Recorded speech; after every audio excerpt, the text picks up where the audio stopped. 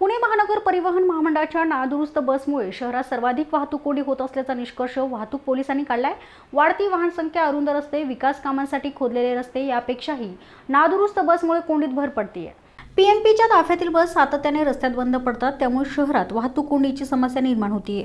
याच पार्श्वभूमीवर नुकतीच वाहतूक पोलीस उपायुक्त पंकज देशमुख यांनी पीएमपीचे अधिकारी आणि ठेकेदार यांची बैठक घेतली.